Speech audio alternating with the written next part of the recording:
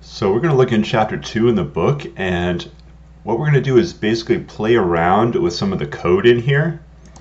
Uh, you do need to start reading in 2.1 but I'm going to go ahead and jump into 2.4 because until you print you don't actually see the results of anything. So I'm going to get in here into 2.4 and I'm going to copy all this code. So now the question is where do we put it?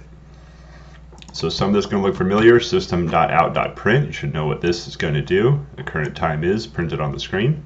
Now where do we put it? I'm going to make a new project just like we always do. This is going to be a Java application. Make sure Java with ANT, Java application.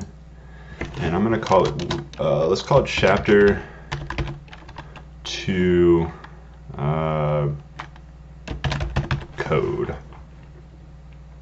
you are allowed to have numbers in here and finish. Now, if you uh, don't want your old project here to appear here, you can right click and go to close. You also can delete, but if you delete it, it will also remove the files, so you won't be able to open it again in the future. You'd want to delete the sources too. But generally, I would recommend you don't delete things, you just close them. That'll remove them from over here and I'll go ahead and close hello. Alright, so this created a both a package and a public class. And now we have a place to put the code. All the code needs to go inside public static void main.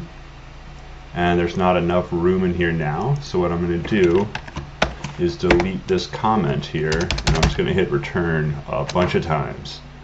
So what I did is I created a lot of space in between the left curly bracket. And if I scroll down far enough, that's the matching right curly bracket because it's also the same color. Now I can take this code that I copied and I'm going to paste it in here. The indentation got messed up, so we're going to select all with Control A and then Alt Shift F is going to format it. It also removed a lot of the extra new lines that were in here. And now we can go ahead and hit play. And it says the current time is 11.59.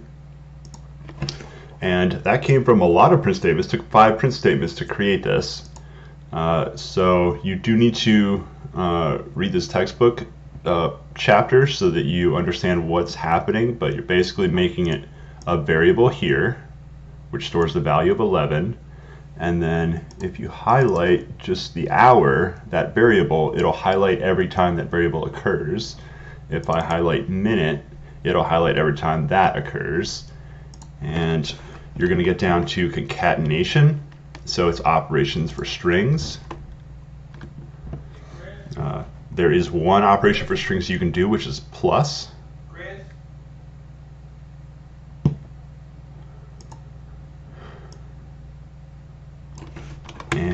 Copy this and I'm going to paste it up here.